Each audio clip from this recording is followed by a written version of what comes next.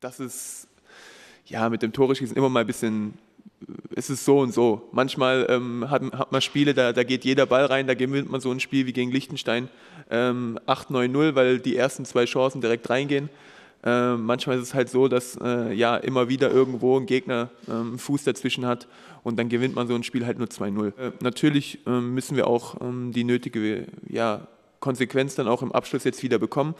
Ich glaube trotzdem, dass wir so, so viele ähm, torgefährliche Spieler in unserer Mannschaft haben, ähm, dass man sich auf lange Sicht jetzt kein äh, ja, irgendwie äh, Probleme bekommen wird, irgendwie Tor zu schießen. Natürlich hat man sich dann auch ja, gefreut, wenn man dann weiß, da kommt ein Trainer, ähm, der findet einen gar nicht so schlecht ähm, und mit dem ähm, ist die Zusammenarbeit, äh, kann die sehr gut werden. Ich glaube, wir sind ähm, beide froh, dass wir jetzt äh, auch endlich dann mal zusammen miteinander arbeiten können. Deswegen ja, freut man sich auch, dass er mich gleich im ersten Spiel spielen hat lassen, dass ich es dann auch gleich mit einem Tor so ein bisschen auch äh, ja, zeigen konnte, dass das, dass das nicht so falsch war, äh, mich spielen äh, haben zu lassen. Zu Jamal, ich glaube, äh, ja, der ist in den letzten halben oder dreiviertel Jahr wirklich ja, durch die Decke gegangen. Ich glaube, dass er ein sehr, sehr guter Spieler, ein super Spieler ist, dass er wirklich auch eine, eine Riesenzukunft vor sich haben kann. Er geht einfach auf, aufs Feld, äh, hat seinen Spaß, spielt äh, das, auf was er gerade so ein bisschen Lust hat, äh, was er sieht.